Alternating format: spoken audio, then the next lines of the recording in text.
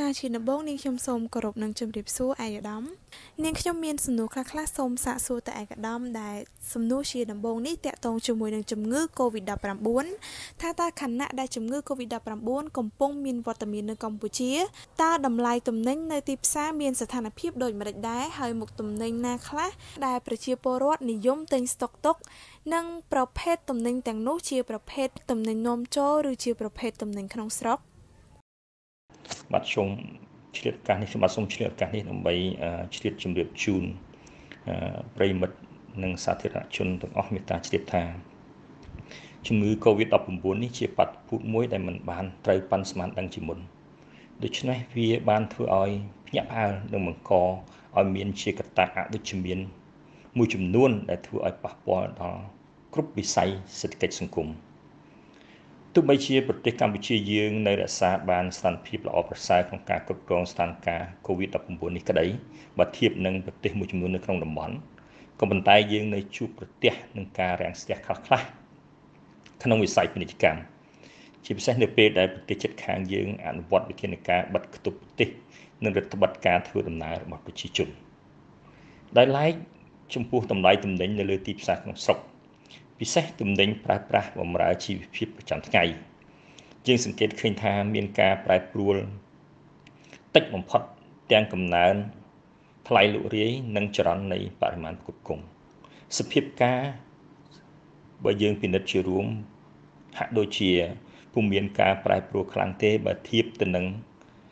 ស្ថានភាពនៅមុនពេលដែលយើងមានជំងឺ Covid-19 នេះកើតឡើងជាពិសេសទៀត ដោយសារប្រទេសរបស់យើងគ្រប់គ្រងបាននៅស្ថានភាពល្អទាំងវិស័យសេដ្ឋកិច្ចក៏ដូចជាស្ថានភាពនៃការគ្រប់គ្រងជំងឺ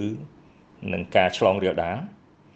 ជារួមយើងសង្កេតឃើញថានៅរាជធានីភ្នំពេញក៏ដូចជាទូរួមខេត្តធំធំពុំមានបាត់ភូតនៃការសម្រុកប្រមូលទិញដែលតាមភាសាអង់គ្លេសហៅថា panic buys នោះ ទំនិញស្តុកទុកជាកំហុកដោយបណ្ដាប្រទេសមួយចំនួននោះទេនៅពេលដែលចាប់ផ្ដើមលេចចេញនៅជំងឺ Covid-19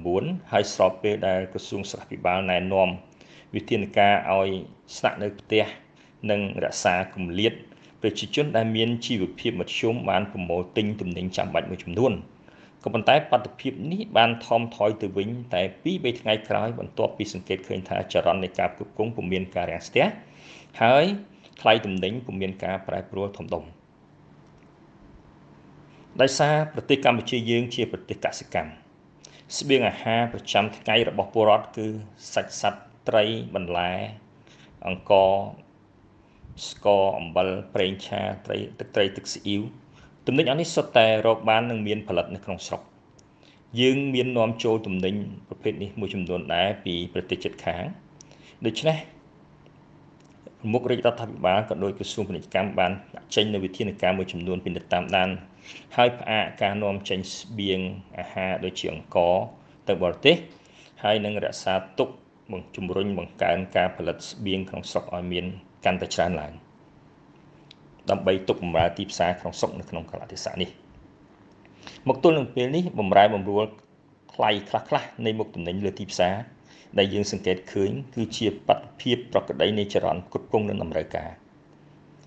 ក្នុងពេលនេះដែរយើងកំពុងតែតាមដានយ៉ាងយកចិត្តទុកដាក់និងត្រៀមអន្តរាគមន៍បើមានការចាំបាច់សម្រាប់សម្រួលការគ្រប់គ្រងទំនិញចាំបាច់បម្រើជីវភាពរបស់ប្រជាជនយើងនៅក្នុងករណីទំនិញមួយចំនួន សម្រាប់ការការពារបង្ការជំងឺ Covid-19 ដូចជាម៉ាស់ពាក់ការពារមុខអាកុល gel សម្រាប់លាងដៃទំនិញទាំងអស់នេះក្រសួងក៏ដូចជាក្រមការងារទំនាក់ទំនងក្នុងករណីសម្រាប់ការគ្រប់គ្រងទំនិញអស់នេះក៏បានរៀបចំត្រៀមពិនិត្យតាមដានជាប្រចាំក្នុងការគ្រប់គ្រងឲ្យមានរួមទាំងការផលិតទាំងការនាំចូលនិងតាមដានការធ្វើអន្តរាគមន៍ថ្លៃករណីការមានការឡើងថ្លៃហួសហេតុ ដែលកិច្ចការអស់នេះអគ្គនាយកដ្ឋានកិច្ចការការពារអ្នកប្រើប្រាស់កិច្ចការប្រកួតប្រជែងនិងបង្ក្រាបការក្លែងបន្លំ បានចាត់វិធានការណែនាំនិងបង្ក្រាបព្រមទាំងតាមដានជាប់ជាប្រចាំទៅលើចំណេញទំនិញប្រភេទនេះធានាយ៉ាងណាឲ្យមានការគ្រប់គ្រងទំនិញភេទនេះនិងការគ្រប់គ្រងនៅទំនិញត្រឹមត្រូវដែលមិនមែនជាប្រភេទទំនិញខ្លាំងខ្លាយដើម្បីរក្សាទាំងសុខភាព ប្រជាជនផងនិង ធ្វើយ៉ាងណាឲ្យមានទំនិញប្រភេទនេះសម្រាប់ការការពារខ្លួនរបស់ប្រជាជន និងគ្រូពេទ្យជួរមុខរបស់យើងទប់ទល់នឹងជំងឺ Covid-19 នេះផងចាសូមអរគុណអាយដាមនាងខ្ញុំមានសំណួរជាបន្តទៅទៀតតកតងជាមួយនឹងអង្គភាពផ្ទាល់តែម្ដងតើកន្លងមកអង្គភាពបានធ្វើការអ្វីខ្លះដើម្បីសម្រួលតម្លៃទំនិញក្នុងទីផ្សារជូនប្រជាពលរដ្ឋខ្ញុំបាទចង់ជម្រាបជូនសាធារណជន និងមហាជនទូទៅឲ្យបានជ្រាបថាដោយអនុវត្តយ៉ាងខ្ជាប់ខ្ជួនតាមអនុសាសន៍ណែនាំរបស់សម្ដេចអគ្គមហាសេនាបតីតេជោហ៊ុនសែននាយករដ្ឋមន្ត្រីនៃប្រជាណាចក្រកម្ពុជាក្រសួងពាណិជ្ជកម្មក្រោមការដឹកនាំរបស់ឯកឧត្តមរដ្ឋមន្ត្រីប៉ាន់សុរស័ក្តិបានបង្កើតក្រុមការងារធ្លាប់ខ្លំមើលថ្លៃទំនិញលើទីផ្សារក្នុងកលៈទេសៈ COVID-19 ដែលក្រុមការងារនេះបានតាមដានជាប់ជាប្រចាំ នៅបម្រែបម្រួលថ្លៃទំនិញចាំបាច់បំផុតសម្រាប់បម្រើជីវភាពប្រចាំថ្ងៃហើយត្រៀមជាស្រេចនឹងធ្វើអន្តរាគមន៍ភ្លាមភ្លាមក្នុងករណីបើមានការប្រែប្រួលណាមួយធ្វើឲ្យប៉ះពាល់ដល់ជីវភាពប្រជាជនក្រុមការងារនេះធ្វើការជួបប្រជុំគ្នារៀងរាល់សប្តាហ៍ដើម្បីពិនិត្យនៅលើបម្រែបម្រួលថ្លៃពិនិត្យទៅលើបរិមាណទំនិញដែលផ្គត់ផ្គង់នៅលើទីផ្សារហើយនឹងតាមដានជាប់ជាប្រចាំក្នុងករណីដែល មានការតវ៉ាឬមានព័ត៌មានណាមួយតាក់ទងនឹងភាពមិនប្រក្រតីតាក់ទងនឹងការតាក់ទងនឹងការគូតពងតំណែងក៏ដូចជាការលក់តំណែងដែលមានការឡើងថ្លៃហួសហេតុក្រសួងត្រៀមនឹងធ្វើអន្តរាគមន៍ជាក់ស្ដែងសម្រាប់បញ្ហានេះក្រុមការងារយើងបានអនុវត្តកិច្ចការយ៉ាងប្រសើរ ដោយចេញព័ត៌មានអំពីការផ្គត់ផ្គង់លើទីផ្សារក៏ដូចជាព័ត៌មានអំពីបំរែបំរួលថ្លៃទំនិញសម្រាប់ជូនរាជរដ្ឋាភិបាលប្រមុខរាជរដ្ឋាភិបាលពិនិត្យនិងចាត់វិធានការជាក់ស្ដែងសម្រាប់ធ្វើអន្តរាគមក្នុងករណីដែលមានបញ្ហានៅក្នុងកលៈទេសៈនេះទន្ទឹមនឹងនេះក្រសួងសូមធ្វើការ អំពាវនាវចំពោះសាធារណជនឲ្យបានជ្រាបថាក្រសួងប្រឹងប្រែងនិងបានចេញលិខិតជូនដំណឹងព្រមទាំងសេចក្តីអំពាវនាវជាច្រើន ដើម្បីកុំឲ្យសាធារណជនមានការផិតភ័យចំពោះការខុសខាតទំនិញលើទីផ្សារនិងសូមកុំឲ្យអាជីវករនិងឈ្មួញលក់ដូរឆ្លៀតឱកាសនេះដំឡើងថ្លៃទំនិញដើម្បីកេងចំណេញ ហួសហេតុក្នុងន័យដើម្បីធានានៅចរន្តផ្គត់ផ្គង់ចំពោះទំនិញនាំចូលនិងការនាំចេញ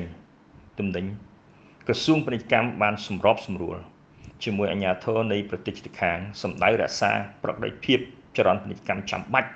ទោះជានៅក្នុងកលតិស័កដែលកំពុងតែមានបញ្ហា COVID-19 នេះកើតឡើងក៏ដោយជាក់ស្ដែង តាមច្រកនាំចេញនាំចូលរបស់ប្រទេសជិតខាងទោះបីជាប្រទេសជិតខាង មានការរត់ត្បិតក្នុងការធ្វើដំណើររបស់ប្រជាជនក្តីក៏ប៉ុន្តែចរន្តនៃការនាំចេញនាំចូលទំនិញរបស់យើង កំពុងតែប្រព្រឹត្តទៅ នៅក្នុងសភាពមួយលក្ខណៈជាធម្មតាដែលយើងឃើញលទ្ធផលនៃការសម្រួលពាណិជ្ជកម្មនេះ ធ្វើឲ្យទីផ្សាររបស់យើងជាពិសេសទំនិញនាំចូលមួយចំនួននៅតែមានវត្តមានលើទីផ្សារហើយនៅតែអាចរកទិញបាននៅក្នុងតម្លៃសមស្របដោយមុនកលៈទេសៈ COVID-19 នេះកើតឡើងដូច្នេះដែរជារួមក្រសួងនីតិកម្មត្រៀមខ្លួនអាដាមរដ្ឋមន្ត្រីបានជំរុញឲ្យគ្រប់អគ្គនាយកដ្ឋានក៏ដូចជាអឺក្រមការងារដែលចូលរួមអនុវត្ត ការតាមដានថ្លៃទំនិញសម្រាប់ប្រជាជនក៏ដូចជាចរន្តគ្រប់គ្រងទំនិញនេះឲ្យប្រឹងប្រែងអនុវត្តការងារជាក់ស្ដែងរបស់ខ្លួន ដើម្បីធ្វើយ៉ាងណាកុំឲ្យមានតំបន់ណាមួយ មានតម្លៃទំនិញប្រែប្រួលហួសហើយខ្វះខាតតំណែងផ្គត់ផ្គង់សម្រាប់បម្រើជីវភាពដោយខ្ញុំបាទបានជម្រាបជូនពីខាងដើមរួមទាំងតំណែងប្រេងឥន្ធនៈផងក្រុមការងារយើងបានខិតខំតាមដាននិង រៀបចំនៅការជួបជុំជាមួយនឹងអ្នកគ្រប់គ្រងដែលធ្វើឡើងទៅតាមសភាពការតម្រូវដើម្បីធ្វើយ៉ាងណាកុំឲ្យមានការខ្វះខាតក្នុងការគ្រប់គ្រងទាំងប្រេងតនៈទាំងទំនិញចាំបាច់ទាំងទំនិញផ្សេងផ្សេងទៀតដែលបម្រើជីវភាពរបស់ប្រជាជន ចាសម្រាប់សំណួរជាបន្តទៅទៀតនេះដែរនាងខ្ញុំសូមសាកសួរតាក់ទងជាមួយនឹងវិធានការលើអ្នកលក់ទំនិញវិញម្ដង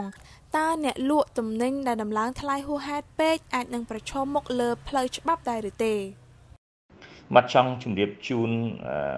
សាធារណជនឲ្យបានជ្រាបផងដែរថាក្រសួងតាមការណែនាំរបស់អាយដាមរដ្ឋមន្ត្រីក្រសួងនីតិកម្មបានជំរុញឲ្យមានការបិទស្លាកថ្លៃទំនិញនៅតាមទីផ្សារធំធំចំណែកនៅតាម ទីផ្សារលក់រាយមួយចំនួន ដែលពុំទាន់មានការបិទស្លាកថ្លៃជាទូទៅយើងបានចេញសេចក្តីអំពាវនាវនិងសេចក្តីណែនាំផ្ទាល់ជាពិសេសអគ្គនាយកដ្ឋានកិច្ចការពីអ្នកប្រើប្រាស់បង្ក្រាបការខ្លាញ់បន្លំនិងប្រកួតប្រជែងបានចុះទៅតាមដានទាំងគុណភាពទំនិញក៏ដូចជាតាមដានការប្រែប្រួលថ្លៃឬការតម្លើងថ្លៃហួសហេតុប្រសិនបើមានអ្នកលក់ តម្លើងថ្លៃទំនិញឆ្លៀតឱកាសនៅក្នុងកលៈសក្តិកូវីដនេះតម្លើងតម្លៃទំនិញហួសហេតុពេកក្រសួងនឹងចាត់វិធានការចាំបាច់ដើម្បីឆ្លើយតបនឹងទង្វើអសិលធម៌នេះវិធានការនេះ មានចែងនៅក្នុងចំណាត់ការរបស់ក្រសួងដែលបានជូននៅក្នុងសេចក្តីណែនាំកន្លងរួចមកហើយ ចាសូមអរគុណឯកឧត្តមនាងខ្ញុំមានសំណួរជាចុងក្រោយថាតើឯកឧត្តមមានប្រសាសន៍អ្វីខ្លះដែលចង់បកស្រាយក៏ដូចជាអំពាវនាវនៅក្នុងឱកាសនេះក្រៅពីសំណួរដែលនាងខ្ញុំបានលើកឡើងខាងលើចាសូមគោរពអញ្ជើញឯកឧត្តមក្រសួងសូមជ្រាបឱកាសនេះជម្រាបជូនសាធារណជនមេត្តាជ្រាបថា នៅក្នុងសេចក្តីជូនដំណឹងលិខិតអំពាវនាវដែលបានជម្រាបជូនសាធារណជនរួចហើយ ក្រសួងសុទ្ធតែបានស្នើសុំឲ្យអាជីវករនឹងនៅនៅក្នុងចិត្តសាធារណជននឹងនៅនៅក្នុងចិត្តហើយក្រសួងចង់ជម្រាបនៅសារដ៏ខ្លីមួយដែលផ្ញើជូនប្រជាពលរដ្ឋនៅក្នុងឱកាសនេះគឺថាយើងត្រូវចូលរួមទាំងអស់គ្នាអនុវត្តនៅនៅវិធានការរានារបស់រាជរដ្ឋាភិបាលដែលជានិច្ចការរួមសុខរួមទុក្ខជាមួយប្រជាជនហើយសូមមានទំនុកចិត្តចំពោះរាជរដ្ឋាភិបាលក្នុងការដោះស្រាយបញ្ហាដែលតាក់ទងនឹងជំងឺ Covid-19 នេះ ជាពិសេសបញ្ហាស្បៀងថ្លៃទំនិញនិងលៀបទីផ្សារនិងប្រភពគ្រប់គ្រងទំនិញទាំងអស់នេះជារួមសូមនឹងនៅក្នុងចិត្តផងដែរថាទំនិញរបស់យើង សម្រាប់បម្រើជីវភាពនឹងមិនខ្វះខាតទេ ហើយថ្លៃទំនិញនឹងមិនកើនឡើងបើសិនជាមានករណីតម្លៃទំនិញកើនឡើងក្រសួងនឹងធ្វើអន្តរាគមន៍ភ្លាមភ្លាមជាពិសេសតាក់ទងនឹងតម្លៃទំនិញយុទ្ធសាស្ត្រនិងទំនិញដែលបម្រើជីវភាព ជាក់ស្ដែងប្រចាំថ្ងៃរបស់ប្រជាជនបាទសូមឆ្លៀតឱកាសនេះថ្លែងអំណរគុណផងដែរចំពោះសាធារណជនទាំងអស់ដែលនៅតែផ្ដល់ការទុកចិត្តដល់ចំណាត់ការដល់រាជរដ្ឋាភិបាលក៏ដូចជាគ្រប់តាមការណែនាំរបស់រាជរដ្ឋាភិបាលក្នុងការជួយជួយរួបរวมទាំងអស់គ្នាប្រឆាំងទល់នឹងឆាំងបង្ការទល់នឹងជំងឺ Covid-19 នេះ ហើយជារួមដែលយើងសង្កេតឃើញមកមកទល់នឹងបច្ចុប្បន្ននេះការសម្រុកទិញទំនិញក្តីការយកចិត្តទុកដាក់ចំពោះការអំពាវនាវរបស់ក្រសួងពាណិជ្ជកម្មក្តី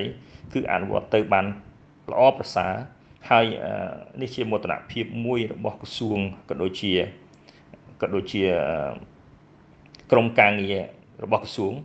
ដែលបានកំពុងនឹងអនុវត្តការងាររបស់ខ្លួន ហើយសូមថ្លែងអំណរគុណផងដែរថាបងប្អូនចូលរួមទាំងអស់គ្នាជាមួយក្រសួងពាណិជ្ជកម្មក៏ដូចជារាជរដ្ឋាភិបាលនេះគឺជាទង្វើមួយល្អប្រសើរដែលធានាដល់ប្រក្តីភាពនៃជីវភាពផងធានាបាននៅការអនុវត្តការងារឲ្យកាន់តែប្រសើរឡើង សម្រាប់បាទប្រជាពលរដ្ឋយើងដែលក្រសួងនិងអង្គភាពនានាស្ថាប័ននានារបស់រាជរដ្ឋបាលកំពុងអនុវត្តសប្តាហ៍នេះយើងត្រូវមាន ការចូលរួមទាំងអស់គ្នាទើបអាចនឹងទទួលបាននូវជ័យជំនះទៅលើជំងឺ Covid-19 នេះជាក់ស្ដែងបើសិនបើយើងអនុវត្តកន្លងមកដែលយើងអនុវត្តបាននៅវិធានការរបស់រាជរដ្ឋាភិបាលយើងតែងតែទទួលបានផលត្រឡប់មកវិញជាវិជ្ជមាន ដូចជាពុំមានការឆ្លងរីករាលដាលគ្រប់គ្រងបាននៅស្ថានភាពនៃជំងឺហើយ បើសិនជាតកតងនឹងវិស័យពាណិជ្ជកម្មវិញយើងនៅតែមានប្រកបភាពថ្លៃទំនិញលើទីផ្សារនិងក៏មានប្រកបភាពនៅក្នុងចរន្តគ្រប់គ្រងទំនិញជាធម្មតាខ្ញុំសូមឆ្លៀតឱកាសនេះសូមថ្លែងអំណរគុណដល់បងប្អូនទស្សនិកជនទាំងអស់សូមដែលបានយកចិត្តទុកដាក់ស្ដាប់ចំពោះការឆ្លើយតបរបស់ក្រសួងពាណិជ្ជកម្មសូមអរគុណ